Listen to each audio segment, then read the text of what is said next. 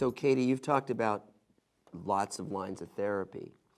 I think, at least in my practice, I'm going to use the HRD test, and I'm going to, if the HRD, HRD test is positive, I might use PARP inhibitors earlier.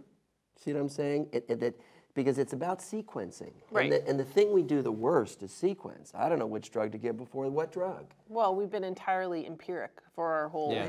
life.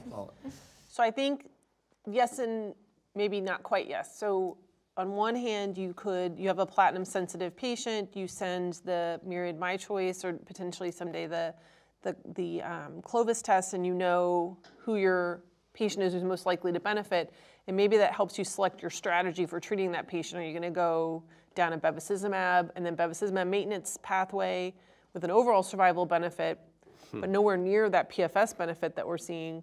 Or are you going to move niraparib up into that line of therapy is more a switch maintenance where you do whatever chemotherapy backbone you choose to do, which could include Doxil in that line, Right. because it doesn't matter, and then and then move to niraparib because of that PFS benefit. And again, we're comparing completely different patient populations. The patients who are enrolled on this study had to respond to their frontline therapy or their uh, their recurrent therapy, and then they went on. Whereas in your study, you're basing it from the time you become platinum sensitive and you get chemo. So you're gonna half of those patients never made it to niraparib. So you Right. can't compare. It's So- real hard to compare the PFSs So and and go, I- this is better than that. Right, and I, I think the, the nuance here is really important because is your practice, so in all of these trials that have a switch maintenance, there's a large proportion of patients who didn't have a complete response. As I was going Right. to say, it So- changes the whole paradigm so of if- maintenance, it- right? So, so to me, that needs to be sorted out. I'm sorry, but I don't. I find it very hard to take a patient off of active therapy I know is working, to put them on a, a, uh, a, a, trial with a switch maintenance is where it's placebo controlled. That's not my practice. My practice is to take CR patients or patients who are intolerant to chemo and then maybe try that particular option. So in the- let me see that data, and I, then that may be practice changing. So in the December sixth, 2016 Bev approval, it's true maintenance. You get chemotherapy Exactly. Bev, whether it's carbogem or carbopaclitaxel, and the chemotherapy ultimately stops, but the Bev continues. Continues, yeah. Now what you're talking about, you respond to platinum, and then you, it's sort of maintenance, but you switch it. but you might have just a partial response, Yeah, which but is a real change. That's what I want. What's the is a real difference between maintenance and treatment?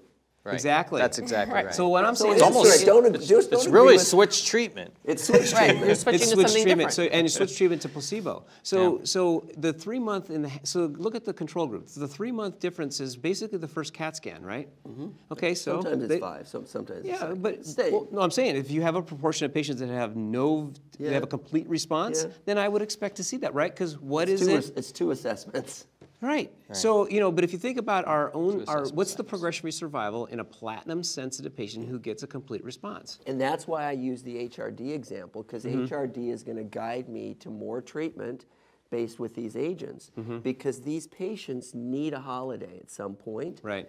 And, and I, the sequencing, the holiday is some of the most difficult issues. So i- i- is, is truly maintenance then only when there's a CR? Is that what you're saying? Well, you know what's going to help though address that question is is an exploratory analysis of 213, and I'm mm-hmm. sure you have that in your protocol to mm-hmm. evaluate patients who have BRCA versus non-BRCA Yes, mutation patients. absolutely. That's going to help guide us mm-hmm. in the future and address this question because it could be that the benefit, you know, I, I don't think there'll be a benefit in that group with Bev because the GOG 218 data was essentially mm-hmm. negative, right? But it might be helpful in terms of seeing what the difference is in outcome, mm-hmm. you know, to get those numbers. So I want to I want to move past this, but I want to get some some clarity. So we love to teach people, and we're here today.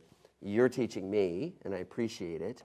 I'm still confused about this maintenance idea. In the in the Nova trial, maintenance is in the title, but half of the patients still have cancer. So mm-hmm. it's it's how can I call that maintenance if there's measure if there's can't you know if they still if they had PRs to their last treatment? Well, so I always learned that when somebody had a CR and you continue therapy, that's consolidation, and then the maintenance was. And, but I think that what's happened is we've just used maintenance for everything, right? Okay. We still use that terminology, consolidation, correct? Yeah, I mean, I, CR. think a lot of people have kicked that around. we- a lot, yeah. a lot of people, the of consolidation really comes out of the liquid-based Right. tumors. Uh, It's where usually a different regimen. That's right. And that's really, really where that's come from. In our trials heretofore that we've done in gynecologic malignancies, we've required a complete response. Uh, biolog- or uh, biochemical, based on CA125, radiologic, and physical exam, all. Yep. But not for 218. Not for 218. they Correct. Absolutely. No, no, all the trials that had, had concurrent followed by maintenance all allowed that. But if you look at um, 212, Yeah.